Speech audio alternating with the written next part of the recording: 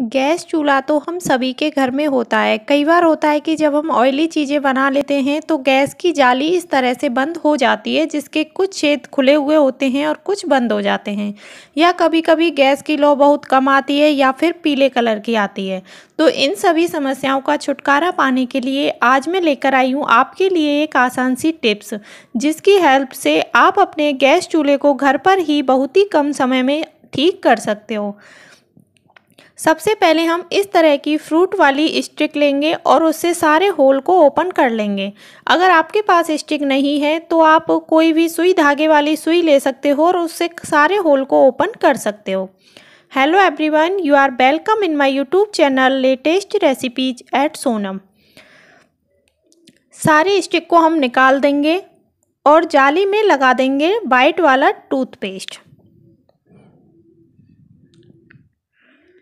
अब हम एक ख़राब टीथ ब्रश लेंगे और उससे चारों तरफ़ जाली पे हम पेस्ट को अच्छी तरह से रफ़ कर देंगे। बाहर की साइड भी हम पेस्ट को लगा देंगे। चारों तरफ़ हम इसको करीब दो मिनट तक रफ़ करेंगे और फिर डाल देंगे आधा चम्मच मीठा सोडा। मीठा सोडा अगर आपके पास नहीं है तो इनो भी डाल सकते हो और आधा चम्मच इसमें हम डाल देंगे डिटर्जेंट पाउडर।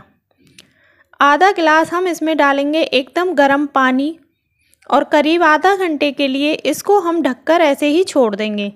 लेकिन आधा घंटे के बीच में हम बीच बीच में ब्रश से इस पानी को इस तरह से हिला देंगे। और आधा घंटे बाद देखिए हमारी जाली कितने अच्छे से साफ़ हो गई है। इसे हम थोड़ा सा और रफ़ कर देंगे। अगर आपको लगता है कि किसी छेद में पेस्ट भरा रह गया है तो आप उसको भी इस तरह स्टिक से निकाल दें। ये देखिए, कितने अच्छे से हमारी जाली साफ़ हो गई है। इसे हम थोड़ी देर के लिए सुखा लेंगे, जिससे कि इन छेदों में जो पानी भर गया है वो निकल जाए।